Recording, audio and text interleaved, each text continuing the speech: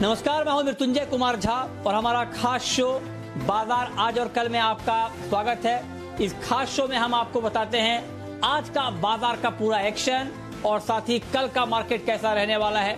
कल आपको कहाँ पर कमाई के मौके मिलने वाले हैं, ये हम आपको बताते हैं। तो आज आपकी तैयारी कराने के लिए हमारे साथ हैं जी बिज़नेस के मैनेजिंग एडिटर अनिल सिंघवी। हमारे साथ एक खास मेहमान है एच सिक्योरिटीज के वीके शर्मा साहब और साथ ही मेरी पूरी टीम तैयार है, तैनात है आपको अलग अलग खबर अलग अलग रिसर्च बताने के लिए। देवांशी से हम जानेंगे आज मार्केट का पूरा एक्शन कैसा रहा। संदीप से जानेंगे तेल गैस शहरों पर दबाव क्यों है और आगे क्या संकेत दिख रहे हैं। मानसी बताएँगी शुगर कंपनियों के लिए अच्छी खबर। कुशल से जानेंगे टेक शेयरों से यूएस मार्केट में कोहराम क्यों मचा है। पूजा बताएँगी लाइफ इंश्योरेंस शेयरों पर फोकस क्यों है? लेकिन सबसे पहले आपको बताते हैं कि आज पूरे दिन शेयर मार्केट में किस तरह का कामकाज हुआ है। तो कमज़ोर ग्लोबल संकेतों का असर आज भारतीय बाजारों पर दिखा और दोनों इंडेक्स लाल निशान में बंद हुए। सेंसेक्स एक सौ इकहत्तर अंक और निफ्टी उनतालीस अंक टूटे। हालाँकि निचले स्तरों से दोनों इंडेक्स में रिकवरी आई। आज पीएसयू और बैंकिंग स्टॉक्स में बिकवाली रही। सरकारी क्षेत्र की कंपनी ओएनजीसी गेल और कोल इंडिया के स्टॉक तीन तीन परसेंट की गिरावट के साथ बंद हुए। वहीं banking stocks, SBI, federal bank और आरबीएल बैंक के स्टॉक्स भी गिरावट के साथ बंद हुए। और अब आपको बताते हैं कि आज के बाज़ार में विदेशी निवेशकों ने और घरेलू निवेशकों ने कितनी खरीदारी या बिकवाली की है। तो एफ़ यानी विदेशी संस्थागत निवेशकों ने कैश मार्केट में करीब करीब नौ सौ उनसठ करोड़ रुपए की बिकवाली की है। वहीं डी यानी घरेलू संस्थागत निवेशकों ने दो करोड़ रुपए के आसपास की बिकवाली की है।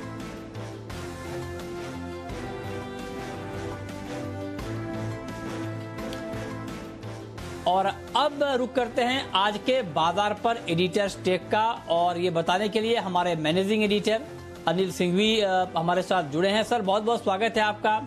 आज यूँ तो बाज़ार कमज़ोरी के साथ बंद हुए, लेकिन दोपहर के बाद हल्की रिकवरी की कोशिश में भी मार्केट दिखा है। ऐसे में आज के कारोबार पर आपका ओवरऑल व्यू क्या है? दुनिया भर के बाजारों की कमज़ोरी का असर भारतीय बाजारों पर आज साफ़ देखने को मिला। कमज़ोर शुरुआत हुई और उस कमज़ोर शुरुआत के बाद बाज़ार और फिसलते हुए भी नज़र आए लेकिन सेकंड हाफ़ बेहतर रहा, जहाँ डाउ फ्यूचर्स की रिकवरी और सीमा पर जो चीन के साथ तनाव की खबरें चल रही उसमें कहीं कोई नई बात या नया तनाव नहीं होने की खबरों से बाज़ार में हल्की रिकवरी आती दिखी। और रिकवरी आई भी एकदम अहम लेवल से। जी हाँ निफ्टी ग्यारह हज़ार एक सौ पचहत्तर, ग्यारह हज़ार दो सौ मज़बूत सपोर्ट माना जा रहा था। वहीं से रिकवर हुआ और बैंक निफ्टी बाईस हज़ार बाईस हज़ार एक सौ के मज़बूत सपोर्ट के पास से रिकवर होता हुआ दिखा। हालाँकि क्लोजिंग तो कमज़ोरी रही, लेकिन फिर भी बड़े नुकसान से बच गए। निफ्टी महज चालीस अंक नीचे बंद हुआ, लेकिन बैंक निफ्टी में अब भी ताकत दिखनी बाकी है। वहाँ कमज़ोरी का रुझान साफ़ है और पौने पाँच अंकों का बड़ा कट, बड़ा नुकसान बैंक निफ्टी में आज भी दिखा। सेंसेक्स पौने दो अंकों के मामूली नुकसान के साथ बंद होता हुआ दिखा। तो आज की कमज़ोरी की वजह, सबसे पहले तो ग्लोबल मार्केट से यही, कि जिस तरह से डाउ 600 अंक से ज़्यादा लुढ़क कर बंद हुआ। दूसरा, सीमा पर तनाव की जो खबरें थी, वो थोड़ी बढ़ी ही। लेकिन दिन के दौरान इनमें थोड़ी रिलीफ आती दिखी या फिर यूँ कहें कि नया कोई और प्रेशर बनता हुआ नज़र नहीं आया। और डाउ फ्यूचर्स नैजक फ्यूचर्स जो रिकवर होते हुए दिखे, उसके बाद लोगों में जोश भी आया कि चलिए ठीक है, बहुत बुरा नहीं और अच्छा करेक्शन ऊपरी स्तरों से हो चुका है। लगभग लगभग 500-600 पॉइंट निफ्टी करेक्ट हो चुका है तो अब दिक्कत की बात नहीं और 3000 पॉइंट ऊपरी स्तरों से बैंक निफ्टी भी गिर चुका है तो बहुत डरने की ज़रूरत नहीं है। तो एक और नेगेटिव क्लोजिंग लेकिन फिर भी ये कह सकते हैं कि कमज़ोरी भली रही, लेकिन मूड माहौल बहुत खराब हो, वैसा बिल्कुल भी नहीं है। और निफ्टी के दिग्गज रिलायंस और बाकी शेयरों से सहारा जो मिला उससे एक रीजनेबली खराब क्लोजिंग आप कह सकते हैं। बहुत खराब नहीं पैनिक वाली बात नहीं कमज़ोर थे लेकिन पैनिक या डर नहीं था। तो कोई पैनिक वाली बात नहीं थी लेकिन अब आपको ये बताते हैं कि आज के मार्केट में आ, कौन कौन से ऐसे सेक्टर रहे जहाँ पर एक्शन का माहौल रहा? और ये डिटेल बताने के लिए देवांशी हमारे साथ जुड़ रही हैं। बताइए देवांशी ग्लोबल क्यूज के चलते बाज़ार में आज कमज़ोरी के साथ ही कारोबार होता हुआ दिखा, लेकिन लोअर लेवल से अच्छी रिकवरी भी निफ्टी और निफ्टी बैंक दोनों ने दिखाई है। लेकिन इसके बावजूद आप देखिए, आज अगर सेक्टर्स की बात करें तो फाइनेंशियल्स और बैंक ये सबसे ज़्यादा लगात रहे हैं या सबसे ज़्यादा कमज़ोरी इन्हीं सेक्टर्स में आती हुई दिखी। वैसे आप देखें तो सारे सेक्टर्स आज लगभग लाल निशान में ही बंद होते हुए दिखे, लेकिन अब कुछ सेक्टर्स थे, जैसे कि आप देखिए फार्मा और साथ ही आईटी यहाँ पे हल्की सी खरीदारी आज की ट्रेडिंग सेशन में ज़रूर आती हुई दिखी। सबसे पहले अगर वायदा बाज़ार के गेनर्स की बात करें तो आज एस्कॉट्स यहाँ पे अच्छी तेज़ी आती हुई दिखी है। हमरा राजा बैटरीज यहाँ पे भी आज फ्रेश तेज़ी की पोजिशन बनती हुई दिखी। टाटा स्टील में आज तेज़ी होती हुई दिखी। रिलायंस इंडस्ट्रीज़ ये हैवी वेट था जिसके चलते आज निफ्टी में अच्छी रिकवरी आती हुई दिखी। इसके अलावा अगर लूजर्स की सूची पर नज़र रखें तो आज वायदा बाज़ार में श्रीराम ट्रांसपोर्ट यहाँ पे सबसे ज़्यादा मंदी की पोजिशन बनती हुई दिखी है। गेल में भी आज मंदी की पोजिशन बनी है। कॉनकोर यहाँ पे गिरावट देखने मिली और बजाज फिनसर्व ये कुछ स्टॉक्स थे जहाँ पे आज सबसे ज़्यादा गिरावट के ट्रेंड्स बनते हुए दिखे और मंदी की पोजिशन बनी है। इसके अलावा आज सरकारी बैंक ये टॉप लूजर्स बनते हुए दिखे आज बाज़ार में। ओवरऑल बैंकिंग स्टॉक्स में गिरावट आई है। लेकिन आप देखिए सरकारी बैंक जैसे कि एसबीआई करीब साढ़े चार परसेंट तक की गिरावट हमने देखी है। साथ ही bank of Baroda Canara bank PNB union bank central bank सारे ऐसे स्टॉक्स थे जहाँ पे आज गिरावट के साथ ही कारोबार होता हुआ दिखा। और साथ ही आज जो तेज़ी थी वो हल्की सी आईटी में थी और हल्की सी फार्मा में आज आती हुई दिखी। आप देखिए फार्मा स्टॉक्स में बायोकॉन यहाँ पे अच्छी तेज़ी आती हुई दिखी है। सिप्ला आज निफ्टी के टॉप गेनर्स में से रहा। ल्यूपिन में अच्छी खरीदारी आती हुई दिखी और टोरेंट फार्मा में भी आज अच्छे गेन्स आते हुए दिखे। इसके अलावा आज सुबह से हम आपको रिकमेंड करते आ रहे हैं जी बिज़नेस के जो सुपर हिट कॉल्स थे, उस पर आप नज़र रखिए, जहाँ पे आज आपकी कमाई होती हुई दिखी। सबसे पहले श्री राम ट्रांसपोर्ट आज सुमित जी और वागली जी की रिकमेंडेशन थी। यहाँ पे आज सबसे ज़्यादा गिरावट आती हुई दिखी। बजाज फाइनेंस आपको किरण जी ने रिकमेंड किया था। बायोकॉन भसीन साहब ने रिकमेंड किया था आपको। साथ ही वोल्टास भी, आपको सुमित जी की रिकमेंडेशन से यहाँ पे अच्छी कमाई होती हुई दिखी। बर्जो पेंट्स का कॉल आपको शुभम जी ने दिया था। यहाँ पे भी अच्छे गेन्स आते हुए दिखे। तो कुल मिला आज ब्रॉडर मार्केट्स की अगर बात करें तो हल्की सी कमज़ोरी थी और कुछ ही सेक्टर्स थे या चुनिंदा स्टॉक्स थे जहाँ पे आज अच्छे गेन्स आते हुए दिखे। तो ये डिटेल में देवांशी ने बताया कि किस तरह का एक्शन अलग अलग सेक्टर में आज के कारोबार में रहा है। अब हम रुक करते हैं अपने खास मेहमान का। और आज हमारे साथ कार्यक्रम में है H D F C securities के वीके शर्मा जी। सर बहुत बहुत स्वागत है आपका शर्मा जी।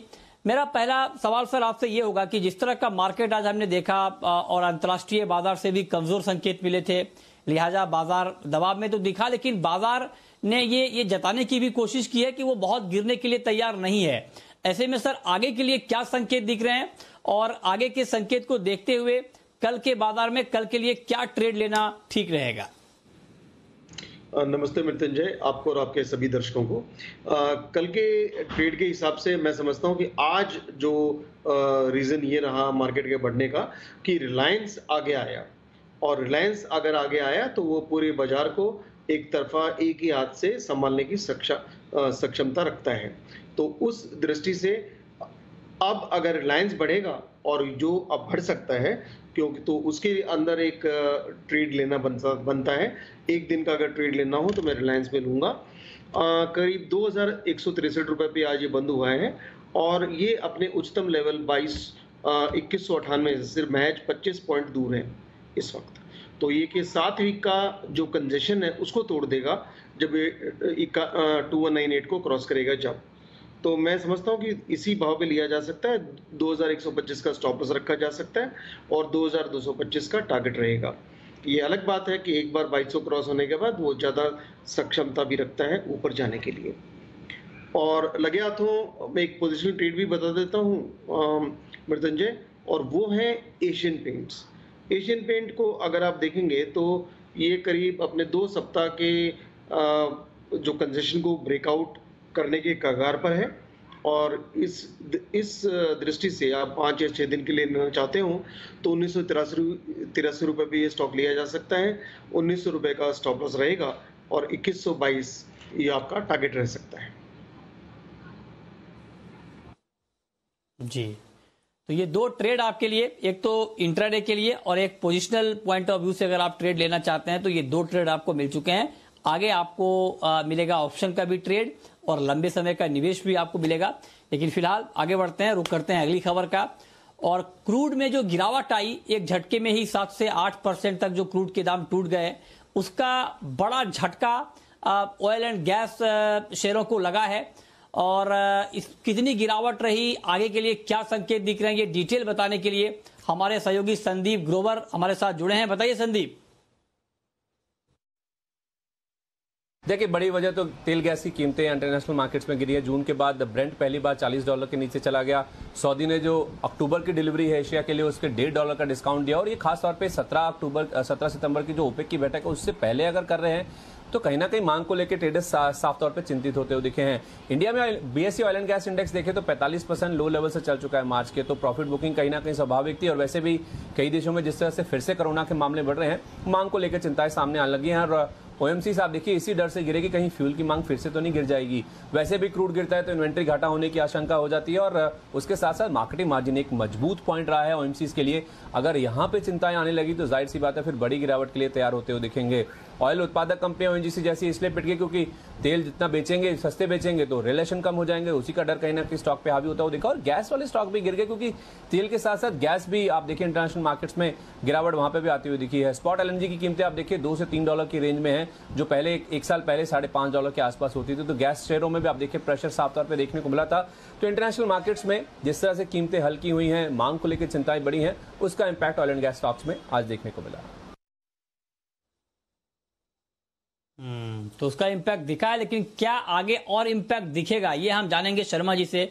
सर, मैं आपसे एक चीज़ जानना चाहता हूँ। जो बात अभी संदीप ने बताई और जो फंडामेंटल हैं क्रूड के, वो ये हैं कि दुनिया में अभी भी जो डिमांड है, उसके मुकाबले क्रूड की सप्लाई ज़्यादा है। और अंतर्राष्ट्रीय बाज़ार के जानकारों का भी ये मानना है कि अगले छह आठ महीने या अगले साल भर भी आप कह लें तो डिमांड के मुकाबले सप्लाई ज़्यादा ही रहेगी। डिमांड में कोई बड़ी बढ़ोतरी हम नियर फ्यूचर में नहीं देख रहे हैं। तो ऐसे में आप तेल एंड गैस शेयरों का आउटलुक आगे का क्या देख रहे हैं? देखिए, मेरा जो जो प्राइमरी जो ऑयल प्रोड्यूसर हैं, जैसे ओएनजीसी या ऑयल इंडिया उनके ऊपर मैं बहुत ही बेरिश रहा हूँ और खुलकर बेरिश रहा हूँ। पानी पी पी कर मैंने इन इन स्टॉक्स को कोसा है, क्योंकि आज़ादी की इतने साल के बाद भी ये कुछ बहुत ही बड़ा कर नहीं पाए। एक भी बैरल ऑयल ओ से नहीं जोड़ सका। इनफैक्ट इसका ईयरली प्रोडक्शन गिरा ही है। ऐसे वक्त के अंदर ये जो ऑयल इंटरनेशनल सिनारियो जो है, वो वैसे ही खराब है। अभी जो भी डिमांड जो सप्लाई है, वो कंस्ट्रेंड है कि आपने प्रोडक्शन कर सकते हो, लेकिन आपने प्रोडक्शन को कम कर रखा है। डिमांड तो है नहीं। और अगर ये ढर्रा और दो साल चल गया तो फिर इलेक्ट्रिक कार्स की जो डिमांड है, वो फ्यूल को वैसे खा जाएगी। तो मैं समझता हूँ कि ये एक लॉन्ग टर्म ट्रेंड के अंदर चला गया है क्रूड और ये वहीं पे रहेगा। इक्के दुक्के जब कोई कलेक्टिव एक्शन होगा तो ये वापस आ सकता है लेकिन ये एक ये सनसेट इंडस्ट्री का नाम इसको दे सकते हैं आप ऑयल इंडस्ट्री को और यहाँ पे जो निवेश है वो बिल्कुल रिटर्न देने वाला नहीं रहेगा। हम्म, ठीक बात है। ये बात बिल्कुल फंडामेंटल के आधार पे आपने कही और बिल्कुल लाजमी है क्योंकि बिल्कुल क्रूड के जो फंडामेंटल हैं अभी कमज़ोर हैं। आगे बढ़ते हैं। शुगर कंपनियों के लिए चीनी कंपनियों के लिए अच्छी खबर आ रही है। और ये अच्छी खबर क्या है, ये बताने के लिए मानसी हमारे साथ जुड़ी हैं। मानसी, बताइए, क्या अच्छी खबर है शुगर सेक्टर के लिए? जी, बिल्कुल। देखिए, चीनी की मिठास तो लगातार बढ़ती हुई देखने को मिल रही है क्योंकि शुगर सेक्टर से जुड़ी कई सारी खबरें आ रही हैं जो कि काफ़ी पॉजिटिव है। ताज़ा खबर यह है कि 2019-20 में शुगर एक्सपोर्ट ने 2007-8 का रिकॉर्ड भी तोड़ दिया है। जी हाँ पिछले साल के मुकाबले शुगर एक्सपोर्ट में पचास प्रतिशत की बढ़त देखने को मिली है। सरकार का इस साल साठ लाख टन एक्सपोर्ट करने का लक्ष्य भी है। आपको बता दें, बेहतर ग्लोबल डिमांड के चलते एक्सपोर्ट में ये बढ़त आती हुई दिखी है। मलेशिया, पूर्वी अफ्रीका, इंडोनेशिया, बांग्लादेश, खाड़ी देशों में चीनी की मांग में बढ़त देखने को मिली है। खासतौर से थाईलैंड में उत्पादन घटने से ये तमाम देशों ने भारत में एक्सपोर्ट करना शुरू किया है, जिसके चलते भारत से एक्सपोर्ट करना शुरू किया है, जिसके चलते यहाँ पर बूस्टर डोज मिलता हुआ देखने को मिल रहा है। चीनी मिलों को छह करोड़ की एक्सपोर्ट सब्सिडी से भी काफ़ी फ़ायदा मिलता हुआ दिखा है। और साथ ही सुबोध कुमार सिंह, जो कि ज्वाइंट सेक्रेटरी फ़ूड मिनिस्ट्री के उन्होंने ताज़ा बयान दिया है एक्सपोर्ट में बढ़त का ट्रेंड बरकरार रहेगा। तो ये भी एक अच्छी खबर है। इसी खबर के चलते, इन तमाम खबरों के चलते Balrampur, Chini EID Parry, Dhampur, sugar, Triveni engineering Dalmia, Bharat, Dwarikesh, sugar, Awadh sugar, इन तमाम शुगर शहरों पर आपकी नज़र होनी चाहिए। ओके, ठीक है तो ये ये क्या अच्छी खबर है, ये मानसी ने बताई।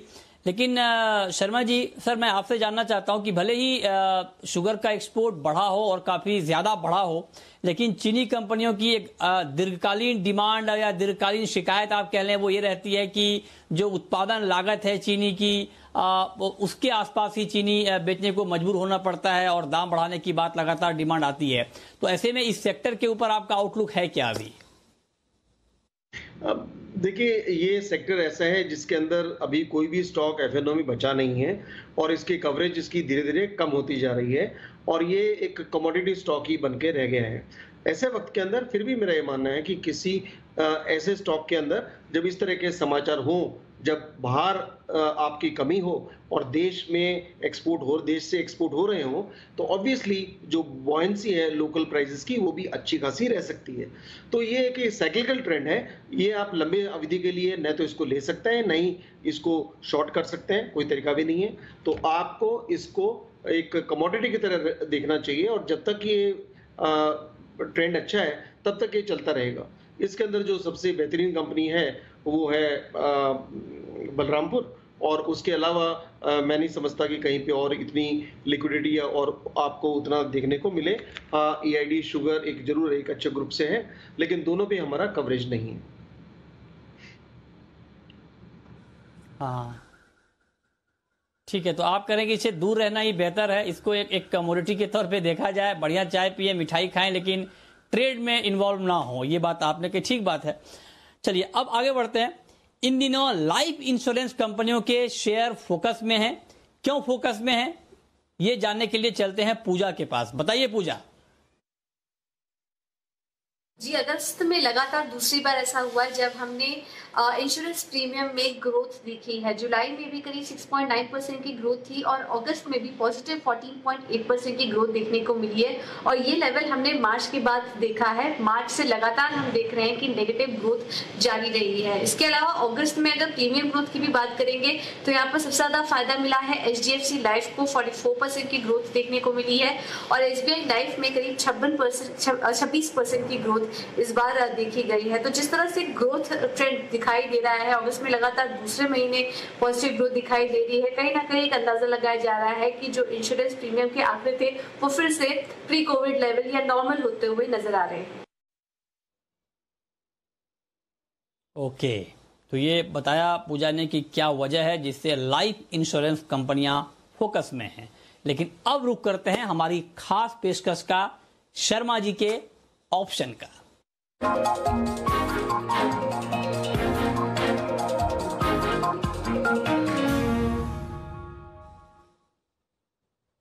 और आज शर्मा जी हमारे साथ लाइव मौजूद हैं ऑप्शन का ट्रेड बताने के लिए। बताइए सर कल कहाँ लिया जाए ऑप्शन में ट्रेड जी आ, वहीं पे जहाँ पे एक दिन का ट्रेड हम ले रहे हैं मृत्युंजय वो है रिलायंस तो एक ऑप्शन के अंदर ट्रेड बिल्कुल बनता है। 2180 की कॉल खरीदी जा सकती है। अड़सठ रुपए पे ये लास्ट क्लोजिंग थी। आप इस पे खरीद सकते हैं। पचास रुपए का इसमें स्टॉप लॉस रखें और जो टारगेट रहेगा पचानवे रुपए का रहेगा। ध्यान रखें कि इसमें तीन या चार दिन से ज़्यादा अवधि आप स्टॉक को होल्ड ऑप्शन को होल्ड करके न चलें। टारगेट नहीं हो या स्टॉप लॉस नहीं हो तो वैसे भी निकल जाएँ और ट्रेलिंग स्टॉप लॉस बना के रखिए, ऊपर बढ़ाते रहिए दोनों ही स्टॉक्स में। दूसरा जो स्टॉक है, वो है मारुति। मारुति अच्छा खासा स्टॉक धीरे धीरे धीरे करके ऊपर आ रहा है और ये ऑटो के अंदर बहुत ही सक्षम स्टॉक बन के दिख रहा है सामने। तो 7,300 की कॉल खरीदने की मैं सलाह दे रहा हूँ मारुति के अंदर और करीब ये एक सौ रुपए पे ये कॉल ऑप्शन था लास्ट क्लोजिंग। इसमें स्टॉप लॉस रखे हैं एक सौ चालीस का। और यहाँ पे आप दो सौ रुपए की कॉल का टारगेट आप लेके चल सकते हैं कि ज़्यादा तीन सौ की कॉल जो आप एक सौ सतासी भी ले रहे हैं आपकी दो सौ सत्तर तक बिक सकती है। ट्रेलिंग स्टॉप लॉस यहाँ भी रखें। जी।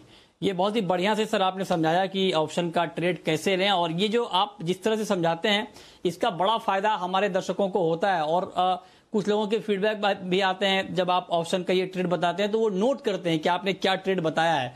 तो वो हमें सुझाव देते हैं कि आप जो ग्राफिक्स जो आपने जो कॉल दी है जो हम चलाते हैं वो उसको स्टे दें थोड़ा सा ताकि वो नोट कर पाए और बड़ा ही आसान भाषा में आप समझाते हैं तो उनके लिए ट्रेड करना बड़ा आसान होता है। इसके लिए सर आप बधाई के पात्र हैं।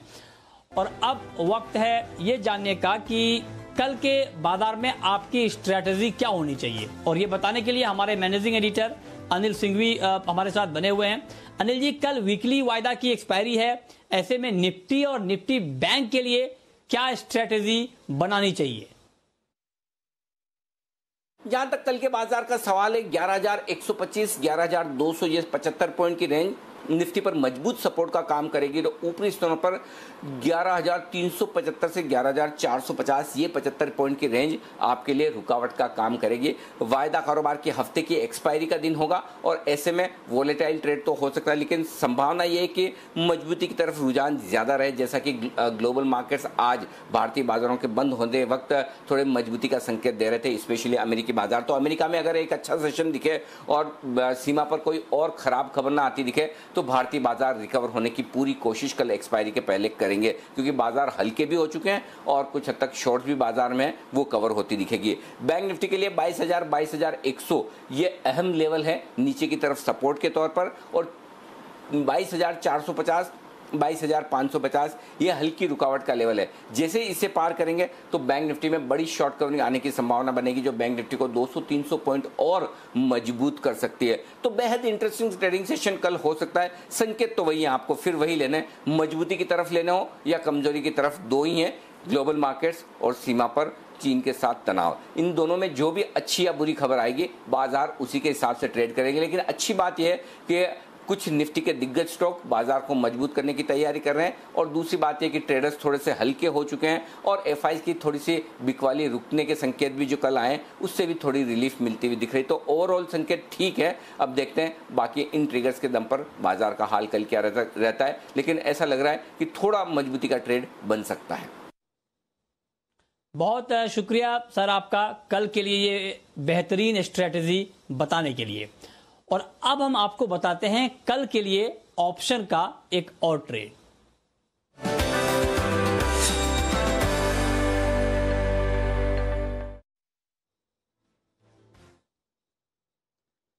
और ऑप्शन का ये ट्रेड बताने के लिए हमारे साथ हैं एसएमसी ग्लोबल के नितिन मुरार का नितिन जी बहुत बहुत स्वागत है आपका।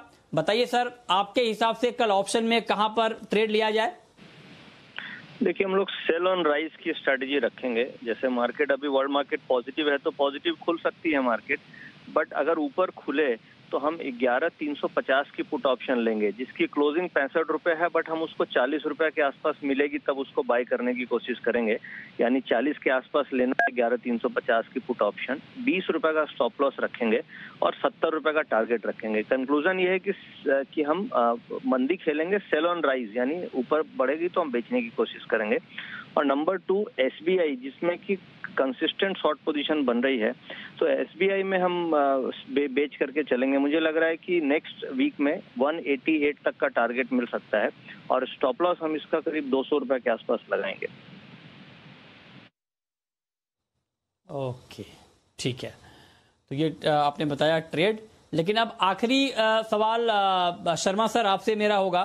कि ठीक है, मार्केट रोज का ऊपर नीचे हो रहा है, लेकिन जो लॉन्ग टर्म के इन्वेस्टर हैं, उनको अभी कहाँ पर नज़र रखनी चाहिए, कहाँ पर पैसा लगाना चाहिए?